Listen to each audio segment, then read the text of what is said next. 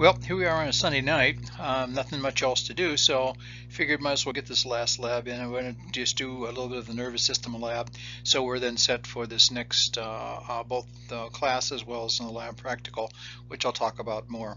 Um, anyway, most of this we've already probably pretty much covered covered in the uh, in uh, when we had the lecture discussion, but it's a pretty good idea to go over it again. I'll show you some more pictures and give you a little bit better idea as to where things might be. So let's just talk a little about the nervous system and some of the anatomical structures that are important nervous system. Um, we had talked about this a little bit before. We know that what happens to the brain and the spinal cord are covered by membranes, and there's three membranes. The outer membrane is called the dura, the membrane that's below that is called the arachnoid, and then there's a membrane that's on the surface of the brain, which is called the pia. Uh, but there's a sort of like a pretty unique arrangement between those between those three. And so what happens is this is going to be, if let's just start here as this being our base, and that's our skull. So here's our skull this is our skull right here. Here's the skull right here. I'm using a little pointer. I actually found that that's pretty good. So we start with the skull on the outside.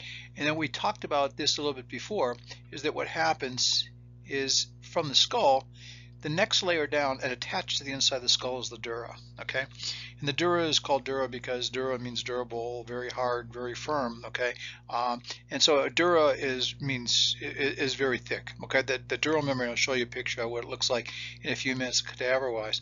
What happens is very thick. And the thing about the dura, the dura actually has two, whoops, it's not working very well has two layers, okay? And uh, there's and one and they're they're both stuck to the inside of the skull uh, and these layers are together. Every so often, as we see over in this area right here, that's where the dura will separate. When the dura separates, it creates a sinus. That's called the dural sinus, and I'll show you a picture of what the dural sinus actually looks like in a person. And that's filled with venous blood. That's how the blood gets actually back, like we talked about before in lecture, how the blood gets back uh, out of the out of the brain.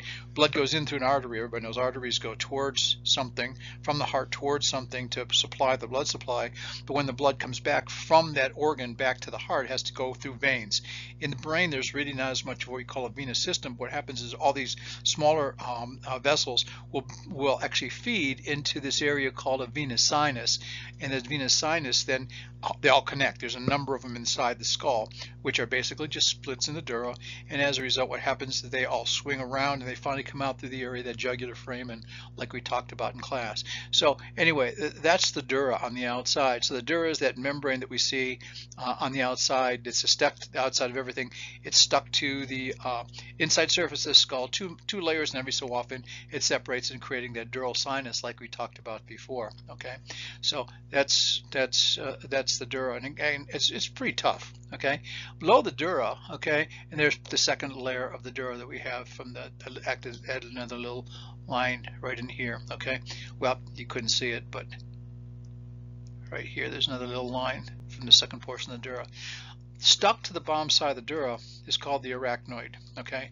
And that arachnoid mem membrane is, is attached. If we look at this picture right here, okay, and we look, see right here, they're sort of like together, okay? and they're, and they're, and they're stuck together. So on the undersurface or the deep surface of the dura is this arachnoid. Now the arachnoid is not nearly as thick as the dura. It shows it you know similar in size there. Um, it's not much more delicate, okay? But from the from the arachnoid we have all these little areas, these little strands that come down like little web-like structures that'll come down from the arachnoid, okay? And it sort of like creates a space between the arachnoid and the deeper layer, which is called the pia. Okay, and I'll talk about that. Anyway, so that's the arachnoid. Okay, between then the next area we have down in here that we should see is again called that subarachnoid space. Now that yellow line goes to the subarachnoid space. And this is the space that eventually gets filled with all the cerebral spinal fluid, filled in that space that's, that's inside there. Okay.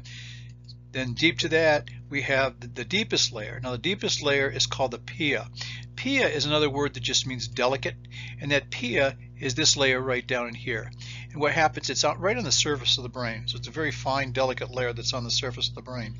What happens is, again, between the pia here and the arachnoid membrane this is up in here there's that subarachnoid space that's in there and that's what's filled with the cerebral spinal fluid. So to stick a needle in the back. Again you got to remember those meninges like we talked about in, in the class um, not just cover the brain but they also follow all the way down to the spinal cord okay?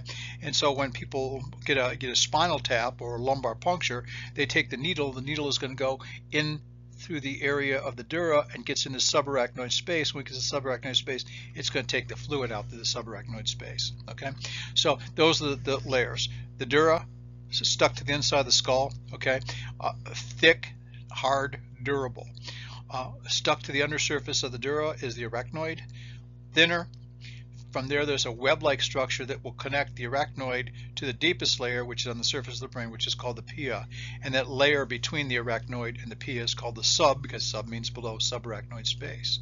Okay, so that's the way these membranes are actually arranged. And then this down here, obviously, would be the brain here and the brain tissue in there. Okay, and let's go on from there we see again we see the very same thing if we look here on the spinal cord representation. So here so we have our spinal cord sitting right in here okay? And then on the outside you'll actually see the dura is going to be attached. So it's sort of on the outside there's this membrane right there and that's going to be the dura. Underneath I don't this picture is a little bit off because the erect the, the arachnoid membrane okay? The arachnoid membrane is going to be just deep to that, okay, and it's stuck to the undersurface. And then deep to that, we have the pia, which is a little bit below that, right on the surface of the spinal cord.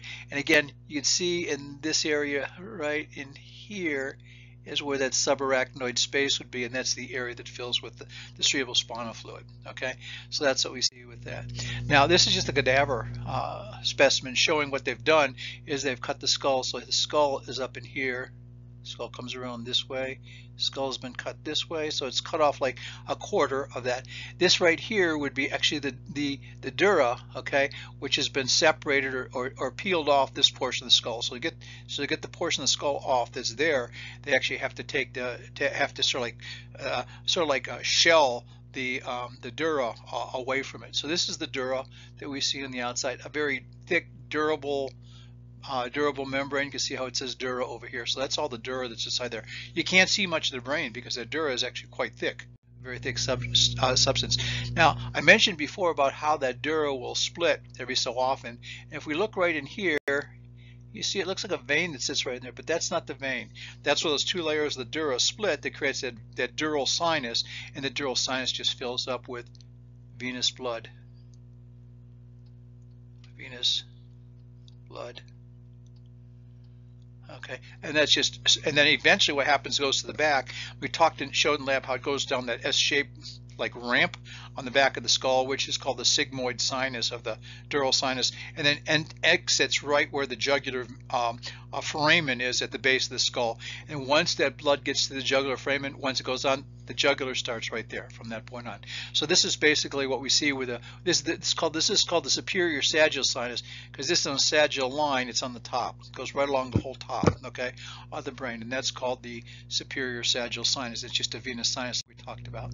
This is again now what they've done here is they've actually taken on uh, on this side over here, okay, they've actually looked and what they've they've they've actually split the area of the Iraq of the of the dura. So you see this little flap of dura that's being pulled back this way and they've actually stripped away the arachnoid which is underneath that so over here you can see the dura sitting right here okay and the uh, uh, actually see if you look right here see the superior sagittal sinus see how it's split when it goes up to where that, that pointer is. See how it's split? That's because, again, those two layers of the dura are split to create that, that sinus. You see the dura that lines inside, okay? So as a result, this right here is still the arachnoid that's on the surface of the brain. Says arachnoid here, it's on the surface of the brain. And usually it, it's, it's I can't say it's firmly attached to the dura, it's sort of lightly attached because uh, sometimes people get what's called a subdural hematoma. When they get that subdural hematoma, there'll be a rip in that area of that dural sinus, and then the blood fills, whoops, the blood fills in that area, the gap, because it's, it's together, but it's not really tremendously adherent. It allows the pressure of the of the venous bloods allows the two two layers to sort of move away from each other. And then blood would collect underneath the area of the dura, which would be called a subdural hematoma. Okay. Now this is just looking at the brain again. Now this is we talked about this in the lecture. So this is anterior out here. This would be anterior. Was not drawn too well. Here's posterior. And this is that longitudinal fissure that's coming straight up the middle of the brain. What they've done is this is still the arachnoid. Arachnoid is still on the brain here. And they've taken the arachnoid over here, and this is the pia. Okay, that would be the area of the pia, which is again very fine, very delicate. If you take a pair of pickups or tweezers and grabbed it and pulled, you get this little wispy-like membrane that would come off. So that would be the pia. Now, when we look at the brain, okay, now we've divided the brain along that longitudinal fissure. Now let's look at the half of the brain. We talked about this in the class as well. And what happens is um, uh, the, the brains divide into each side, each side, you know, each each part, each half, one half and the right half, they're called hemispheres, just like the hemisphere, you know, of the world. They have the right hemisphere and a left hemisphere. Everything on the right side is the right hemisphere, everything on the left is the left hemisphere, split by that longitudinal fissure that runs from front to back or back to front, depends upon how you look at things, okay? Whether you're standing behind it, whether you're standing in front. What happens is we could divide the brain into these four lobes on each side. This front, the one in the front, the one we see on the front, or this is first of all what divides the the the the, the, the brain uh, you know from front to back is what's called the central sulcus. Now, um, anatomy books will show you that this is a nice, very fine line, very detailed line. Um, if you actually look at a real brain, it's not quite always that clear. Sometimes it's a little fuzzy as to where that goes. It's not quite that straight. Sometimes it's a little more jagged. Sometimes you have to sort of make up your, uh, use your imagination a little bit to figure out where that is. But that central sulcus divides the front portion of the brain or the anterior from the area of the posterior, okay? And that anterior portion of the brain in here, this area up in the front, okay, in front of that it would be called the frontal lobe. Okay. Now that frontal lobe has a number of things. We talked about that in class about the number of things that are there. There, you know, Broca's speech area would be right here. There's a gustatory center that's going to be right there. But the most important thing that we should talk about in regards to that frontal lobe is this area right here that's in blue. This area right here. Okay, and that is the pre, that's the motor cortex. It's it's called um, again, humps are called a gyrus. The, the, creases are called a sulcus. That's called the pre central gyrus pre-central gyrus. Remember that, pre-central gyrus. And what happens, pre means in front of or before, central Here's my central gyrus means it's that hump. So that's the precentral gyrus, and that's what we call a primary motor cortex, the primary motor cortex. So all my motor activity starts at that area, in that primary motor cortex. There's another little area that we could actually see that would be out in this area just in front of it, which is the secondary motor cortex or an accessory motor cortex. So sometimes it sort of assists that primary cortex or if that primary cortex is, has a problem, sometimes that secondary cortex could take over a little bit. It's not quite as good as it otherwise would, but that would be my area of my uh, uh, secondary cortex if, you know, if, if, if it was needed for one reason or another, okay? So let's go on from there and look what happens behind. Now, once I go posterior to that central sulcus, this area in here, okay, the area in here is called the parietal, whoops, I should take that away. I went a little bit too far, a little bit too aggressive with my with my this area in here is the parietal lobe. So everything posterior to this central sulcus back in here, back to about here is called the parietal lobe. Okay, and that parietal lobe has a very important area in that parietal lobe which is going to be what's called my primary somatosensory area. area. So here's my sensation, my sensation here. Let me do, do a different color here. My sensation is going to be in this band it's called the post-central gyrus. Post, after, central, central sulcus, gyrus, hump. Okay, so that's where my primary somatosensory areas that where when I feel something, all those sensations will come back to this area of the brain right here. Then there's also a second area, just like that motor area that would be right behind it, which is a secondary somatosensory area. Okay, there's something back in here called Wernicke's area, which is also another um, sensory speech, where in other words, sometimes people, are, uh, the Broca's that was up in the front, in the frontal lobe, is, is motor. It's sort of how my mouth works and my tongue, it coordinates all that stuff. This Wernicke's, which is back in here, is basically more for putting words together, uh, uh, right words in the right place, things like that. Okay, and that's what we see with the Wernicke's. And then what happens is, is so I got my, but it, but still the most important thing is still going to be my primary somatosensory area right there. My third lobe is down here, and that's the temporal lobe. Okay, and that temporal lobe in this area, let me draw a different color. Let's do purple. My temporal lobe down here, okay, is important for a couple things. Um, sometimes uh, it does um, be, it is associated with things like awakeness and alertness. Deep down there, if I took a took a um, uh, a pin and stuck it in right here straight through, I'd eventually get to some of the deeper centers like the hypothalamus and the thalamus that might be also very important in awakeness and alertness and stuff like that. But a lot of things that's down here is called the limbic system. We didn't talk about it, but it's called the limbic system, which has how I respond to things, how much I'm awake, alert, stuff like that, sleep, wake cycles and stuff like that. And that's my temporal lobe. My temporal lobe because it's also right by the ear, okay, is going to be uh, for hearing. So we'll have hearing as well as balance, and a little bit of balance is in there. Uh, cerebellum is going to be involved in balance as well. But we got a lot of our hearing in that area of the temporal lobe, and that's going to be that's what's called the temporal lobe at that point. So let's get rid of all this other garbage up in here. Let's get rid of that. And let's go into the last of the four lobes, and that's going to be my occipital lobe. My occipital lobe is right in the back. Now, it, would be nice if there's actually a nice sulcus that divides that, but again, where that central sulcus sometimes isn't quite as clear, the, the one that divides the parietal lobe here the parietal lobe here from the occipital lobe is even less apparent. But we say that this area back here is my occipital lobe.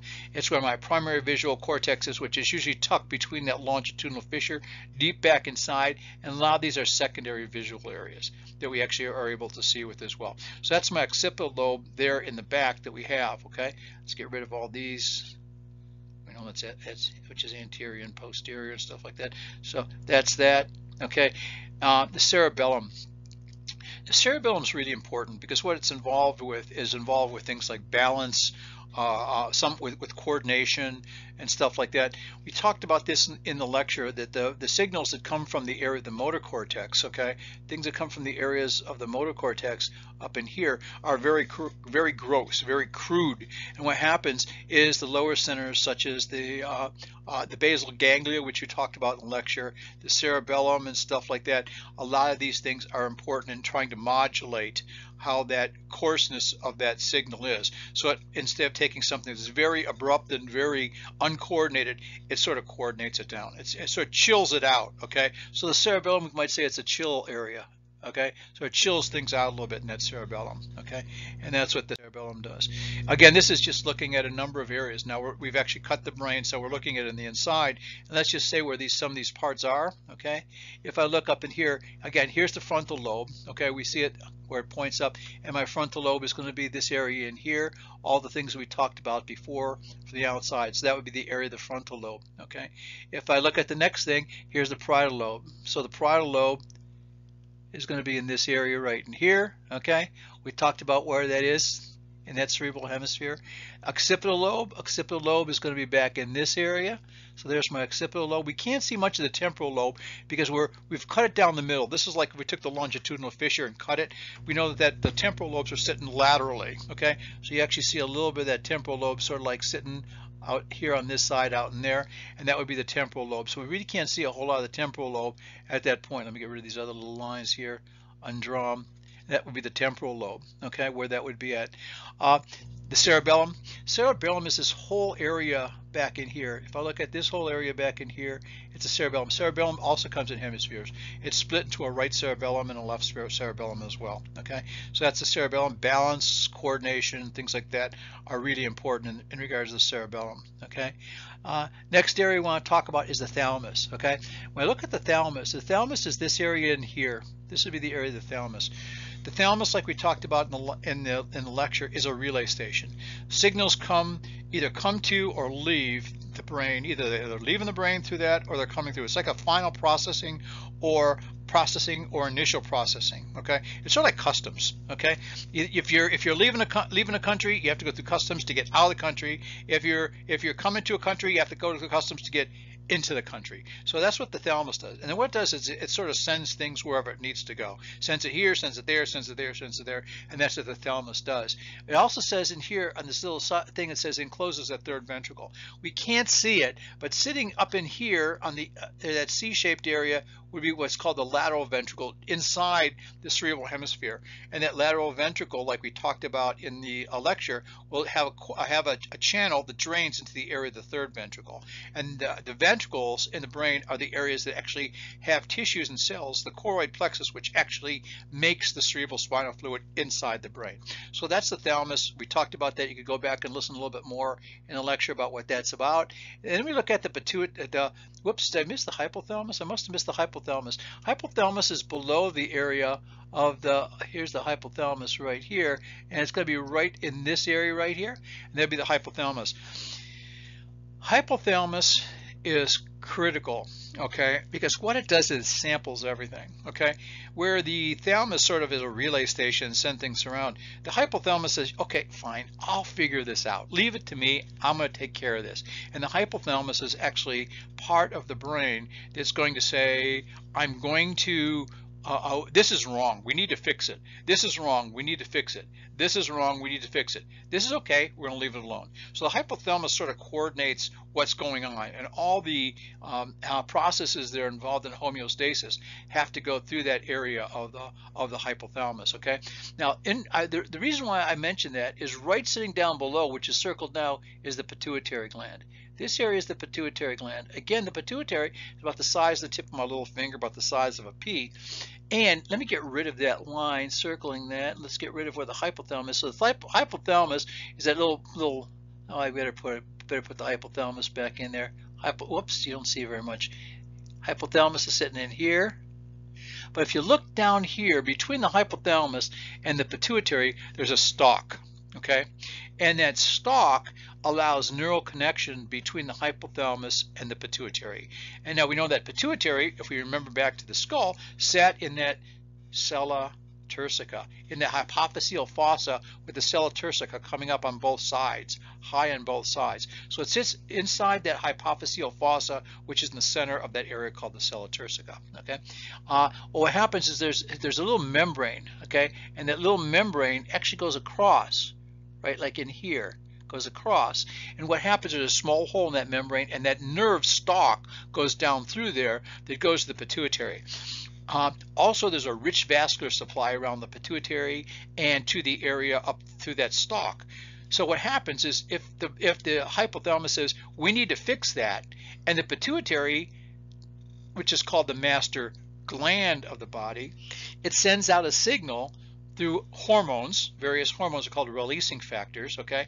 And these hormone releasing factors will go to another gland somewhere else in the body, and that other gland will secrete the hormone that needs to be to be used. So, uh, let's say if my thyroid is down, uh, the hypothalamus will recognize that my thyroid is low. It sends a signal, a releasing factor, okay, uh, to the area uh, which is called actually called thyroid stimulating hormone, thyroid stimulating hormone. And the thyroid stimulating hormone then goes goes uh, or the goes uh, thyroid releasing hormone, excuse me, from the from the hypothalamus. Okay, thyroid releasing hormone from the hypothalamus goes to the pituitary. Then the pituitary sends out thyroid stimulating hormone. The thyroid stimulating hormone goes to the thyroid, and then the thyroid makes the thyroid hormones that will increase the metabolism. So the way we connect from the hypothalamus to the pituitary is either through a neural connection through the stalk, or because it has a lot of big vascular supply around there, the vessels, uh, various uh, chemical mediators will actually come from the hypothalamus down the down the down the vascular supply to that stalk. They will actually get to the pituitary. Then the pituitary makes the hormone, puts it in the system, puts it in the, into the into the vascular system, and that hormone goes to the goes to what's called a tar target gland, and that target gland will then create the hormone that's supposed to do the job that the pituitary wants it to do. So it's a sort of a roundabout way, but it's actually quite effective. Okay, so that's the pituitary gland that we see there. Uh, this over here is the midbrain. Now we talked about the midbrain. It's a very difficult thing to uh, to be to talk about. But the peduncles, the the corpora quadrigemina, uh, there's a, number of different things in the midbrain, a number of different parts to it, and all those things are very important in regards to um, modulating and controlling and and maintaining and and getting things sort of uh, uh, correct the way they're supposed to be. So they that's that's the midbrain, and you could go back and could look at that in the in the lecture. We also have down here the pons. Okay, the pons is below the midbrain. So this area in here is going to be the pons. The pons is going to be right there. We talked about the pons in regards to some basic life functions, you know, a little bit of respirations and stuff like that. Okay, below the pons we have the medulla oblongata. That's this area right here. A lot of the fibers that we have that are in the right hemisphere will cross at the medulla oblongata and go to the left and go to wherever they need to go. But the medulla oblongata is really important. Uh, heart heart rate, uh, blood pressure control, um, uh, much also influence with breathing, a number of different factors, alertness, all kinds of things like that are in the medulla oblongata. Uh, and it's a sort of a very critical portion. Gotta remember that what happens is right down in this area also is where I had that foramen magnum. So when somebody has a brain injury, the brain starts to swell, it takes the brain and forces it down against the um, foramen magnum is trying to force the brain because the, the, the, the, brain could only swell so much inside a closed container. Forces the brain down, tries to force it out through the hole of the foramen magnum, and guess what gets pushed against that foramen magnum? This whole area right in here. And that's the area that's really important for a lot of our critical functions that we that are autonomic functions that happen without us thinking about such as heart rate breathing respir you know um, breathing uh, blood pressure and stuff like that. That's why people will die from head injuries as the brain starts to go down. One of the things they do is when they have a person with a, with a head injury one of the things that's commonly done is they give them something a diuretic to try to relieve a lot of the fluid that will collect or the edema. It's called cerebral edema. They try to get rid of that okay? And that's what they do with that. And there's the spinal cord. Once I'm down below the medulla oblongata, now we're out the foramen magnum and we head on down. I'll show you what that what that spinal cord looks like in a little bit. Okay, a uh, couple things. We uh, the third ventricle. We there's the fourth ventricle. Fourth ventricle is in this area, and eventually, again, the we have the lateral ventricles, two, one on each side. They feed centrally to the third ventricle. Third ventricle feeds to the fourth ventricle below that, and from the fourth ventricle, it leads out through canals that go out to create the spinal fluid, or all the way around the brain and down the spinal cord in that subarachnoid space. Where? In the subarachnoid space. Okay, everybody with me in the subarachnoid space. Okay, and that's what that's where it all occurs from. Okay, so there's the and oh one thing I didn't I mentioned I mentioned very briefly in the lecture. It's called the corpus callosum. Okay, let me get rid of this stuff right here. What happens? The corpus callosum is basically this area in here. And that's what actually connects. It's sort of like a denser, uh, denser tissue that actually uh, keeps the two halves together. Okay, it's sort of like the area where they all come together, and that's called the corpus callosum. Okay, so that's what we see with that. This is just looking at a brain, a human brain. Again, if I'm trying to find those, you know, the the, the various uh, um, uh, sulcus, you know, it's really difficult to see. It's not as easy. We could definitely so we definitely know that this area is the frontal lobe. We definitely know this area is the parietal lobe. We definitely know this area is the occipital lobe. We definitely know this area is the temporal lobe, and we see the cerebellum down here. We see the medulla oblongata and the pons sitting up in here. But you know, sometimes looking at that fissure, that's that central sulcus, is this it right here? I don't know. The, uh, what they actually did is the way they mapped this is um, the, the brain. This is sort of cool, okay? The brain is insensitive. Okay. In other words, they can stick needles in the brain and you don't feel a whole lot. Okay. Unless, you, but what happens is when they stick a needle into the brain, it causes something to happen. In other words, it stimulates the neurons to send out a signal. Okay, so a lot of times what happens in, in neurosurgery, they'll, what they'll do is they'll anesthetize the scalp and stuff like that, take off a big chunk of the skull, move the scalp, make a flap, and they'll sit there and they'll have the patient, they'll ask them, uh, what do you feel now? What do you feel now? What do you feel now? What do you feel now? What do you feel now? As they're moving probes around, okay, to be able to uh, uh, find where certain areas are that work in the brain. So the way they map the brain was basically by stimulating various areas and then finding out and saying, this is where we see this, this is where we see that, and that's where we see that. Other than that, the brain has very little sensation okay and this is just looking at the brain over on this side you see the whole thing and this you see it cut in half so this is like would be the right cerebral hemisphere This area right here would be that corpus callosum. We see the pons, the medulla oblongata, cerebellum. Now you do see a fissure here. So this is the occipital lobe in here. Uh, we It's hard to see where the lobe is in here for the parietal lobe, but the parietal lobe would be here. Frontal lobe would be here. And you can see the temporal lobe sitting down on the opposite side, sitting down in there. Okay, so that's what we see in regards. So and a pituitary would be sitting right about here. The pituitary actually, if you find it, is like right behind the eye. So if we looked at where right in front of that hypophyseal fossa, you saw that little shelf, and that little shelf is where that optic chiasm, where part half the optic nerves will actually cross to the other side. Okay, and that's what you see. This is just looking at the bottom. And the reason why I put the bottom on here is not so much that we're going to spend a lot of time on it now. I'm not going to say what cranial nerve is this, what cranial nerve is that, what cranial nerve, but you see all these little strands that are that are hanging out from it in various areas. Okay, all these little strands are coming out and those are cranial nerves, and they actually come directly from the brain. Here's the olfactory nerve, that long one right there, and that long one right there is the olfactory nerve. And if you look right here, that's the optic nerve. And this area right here in the middle is that optic chiasm where part of those fibers will cross. Okay, uh, part of the right right eye goes to the left, part of the left eye goes to the right, but part of the right eye still goes to the right side, part of the left eye still goes to the left. And this is the area where it crosses right there called the optic chiasm, C-H-I-A-S M, chiasm, okay? That's that. But one other thing I really want to show you about, and this is going to come up uh, when we get, get a little bit later now, is you can't, hard to see uh, all of it, okay? But if you look right here, and let me put it, I'll put this in red still. This area right here, that's part of the basilar artery, okay? And that what happens is, if you, you can't see it, but it's going to actually, right around, right around that area, it's going to have that circle. And that circle is going to be that area what's called the circle of Willis okay? And the circle of Willis has a number of arteries that branch off. If you look right here, you can see something that looks like an opening of a tube. That's that middle cerebral artery. It's a monster artery. It's almost like a direct connection directly from the uh, internal carotid that goes up through that through that uh, middle cerebral artery. There'll be one on this side as well. You just don't see it. But then that circle of Willis is going around right in here. There's see a couple little things sticking out right there. These are called. This is called the anterior cerebral. I think it goes through that actually the fissure because this is that part of the bottom, the longitudinal fissure from the bottom, and it'll supply supply this front, but this the middle cerebral only supplies a small part of the brain, like like the whole sides and stuff like that. So anyway, I just want to show you because this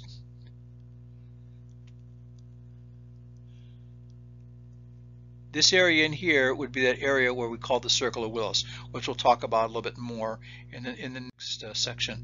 Uh, a couple of last things I want to talk about before I let you go for this is this is again looking at the spinal cord, pretty much we talked about before. And if I look, here's my spinal cord. The darker area in here is going to be the gray matter. Everything else out here is going to be the white matter. Okay, we know white matter is called white because it's a it's a it's a tract. Okay, it's they're tracks of uh, of, uh, um, of, of nerves. Okay, uh, and so the, it's like bunch of fibers that are coming together and usually fibers that have to, a common thing are usually bundled together in various tracks. They actually map the, the, the, spinal cord as to what part of the spinal cord sends what type of fibers and what part of the spinal cord sends this type of fibers, what part of the spinal cord this is. And then we know that gray matter is mostly because of cell bodies that are sitting inside there. There's a split. So this is posterior, obviously, because here's this here's the spinous process. We know that this is a cervical vertebrae. How do I know that this is a cervical vertebrae? I know, and you know. Why? Is there any reason why you know this is a cervical vertebrae? Any reason? You think about it yet? Five. Oh, you can't answer me, so you don't know. What happens? You you know, but you can't talk. These are those foramen where the vertebral arteries. So the vertebral artery is going to go through here. Vertebral artery is going to go through there. We talked about that uh, last time. Uh, so anyway, if you look inside here, let me see if I could draw it a different color right in here, that would be my subarachnoid space. That would be where the fluid is. So when I take a needle that come in the needle, stick the uh, tip of the needle in there, and I can draw the fluid off. Okay, so if I look at this, this actually has a couple spaces. You know, so these are my meninges again. The pia is going to be on the surface the P is going to be stuck to the surface of the, of the, spinal cord. The arachnoid is stuck to the bottom side of the dura, and the dura is the tougher membrane that's on the outside. There's usually some fat and stuff like that that contain that, that holds the the dura uh, and separates the dura from the rest of, of the vertebrae. Okay, a uh, couple things I just want to mention here that I think are, are sort of helpful is number one if we talk about the dura and we go outside the dura, right where the dura is, which is this layer, oops, I can't do it with my pen, the outside layer, let me get rid of that. I can't see that a whole lot. Follow the follow the pointer, okay? If you look out in here, see that, that the gray, okay? Let's see if I could do it. Well, I'll do it white. Maybe I could do it white. Ah, that area, okay? That would be the dura. And everything that would be outside the dura, okay, everything that would be outside the dura would be called extradural. Extra means outside, okay? So sometimes people have an extradural hematoma, which means that they bleed. If it was in the skull, they'd bleed between the dura and the, and the skull itself because it's outside the dura, okay? Then what we have what's called the subdural space. That subdural space is right where the dura meets the arachnoid. And because of the pressure, it will separate the, separate the dura from the arachnoid, and so it'll be bleeding in there. It's usually venous blood from the dural, from, the, from venous sinuses and stuff like that. And then what happens is we have what's called the subarachnoid space. And that subarachnoid space is that space between the arachnoid and the pia, and that's where the cerebral spinal fluid would be in that subarachnoid space. Okay, a couple things I just want to show you in regards to a nerve. Okay, so this is posterior and this is anterior, okay? Anterior and posterior. What happens is we have, this is where the spinal nerve is going to be coming out. Spinal nerve, whoops, ah, darn it, didn't want to do that. Okay, anyway, I can't go back. If the spinal nerve, com nerve, nerve comes out, okay, what happens is where the spinal nerve is, it's both mixed. It's motor, sensory, as well as autonomic all in the same fibers, in the same spinal nerve as it leaves. Dorsally, or posteriorly, and anteriorly, or ventrally, okay, what happens is the root, the nerve that comes in there is called the dorsal root, the dorsal root. The dorsal root is for sensory nerves. It's for sensory nerves. Dorsal root for sensory nerves, okay?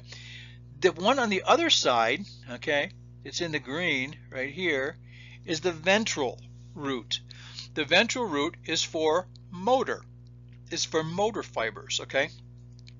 What happens is the sensory fibers are going to be going in, the motor fibers are going to be going out.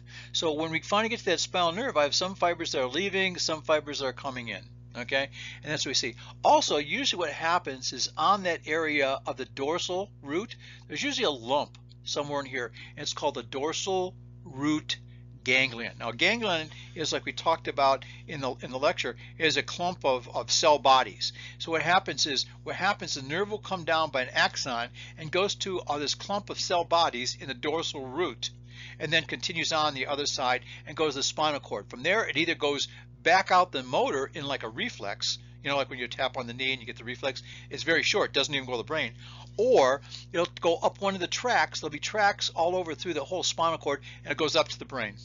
Okay, so either that sensory comes in, goes through the dorsal root ganglion, which is out in here, continues on through the axon to the area of the spinal cord, and goes up to the brain, or in the case of a reflex, it just takes a right turn, goes back to where it came from, and causes a motor action, which is fast. That way, that way reflexes actually happen fast. This is just looking at an anatomical picture here where they, where they've done a cross section. Obviously, this is a cervical. Okay, why? Because there's the air from my cervical or my vertebral artery, vertebral artery. And so what you do is you actually see here's the spinal cord. This is the gray matter in here in the middle and all this other stuff out here is the white matter and you can see the so so you can see the area of the dorsal root ganglion and stuff like that here's the vertebral body so I know that's anterior so this is anterior Oh, you can't see that very well here. Here's anterior. This is posterior this way. And so as a result, this is the dorsal root. That's a dorsal root. Dorsal root. Here would be ventral. Sometimes they call it the anterior posterior rami. Rami, anterior rami, posterior rami, or ventral root, dorsal root. Okay, and again, that posterior rami or the dorsal root is sensation. That ventral root or the anterior ramus is called is motor. Okay, and that's what we see. Now this is just looking at the spinal cord. Okay, a couple things I want to mention about the spinal cord is what happens is uh, I have 31 pairs of spinal nerves, 31 pairs, okay? Well, guess what? I don't have 31 vertebrae. I have one extra, and that one extra is because I have eight in the cervical region. I have seven cervical vertebrae, seven cervical vertebrae, but I have eight spinal nerves, Okay, eight spinal nerves in the cervical region. So here's my cervical region. Oh, first of all, again, the dura and arachnoid and stuff like that are going to surround the, the, the, the, the cord. Uh, here's my spinal, cervical spinal nerves. I have C, C1 through C8 at that point. Then I have my 12 thoracic going through the thoracic area. I have the lumbar area, five lumbar, and then I have five sacral that actually what we'll do is that what they'll do is that actually um, uh, you know, come out through those holes. The sacrum we know is solid, so there's these holes, those foramen that we talked about in the sacrum that will allow those things to come out. So, and then have a coccygeal nerve on the bottom, which will give me 31. Now, one thing I just want to mention is called the conus modularis, uh, conus medullaris. Okay. Now, the conus medullaris, people think the spinal cord goes all the way down, but it doesn't. I mentioned this before. What happens? The spinal cord actually stops around L2, L3, okay, somewhere in that range. And what happens, the spinal cord comes down and it bulges out a little bit, okay, bulges out a little bit and creates like a cone. And this is called the conus medullaris, where it bulges out, okay, conus medullaris. So that's the end of the spinal cord as a solid structure as we know it, okay. From that point on, we have all these nerves that come down in strands, they come out through the bottom of the spinal cord. In other words, if the spinal cord continued out, there'd be one coming out here, one coming out here, one coming out here, but they're all together and they'll go out the respective, the right hole through the vertebrae. This area down here is called the cauda equina. Cauda means tail, equina means horse, okay? So that's that. One other thing I do want to mention in here is called the filum terminale, okay?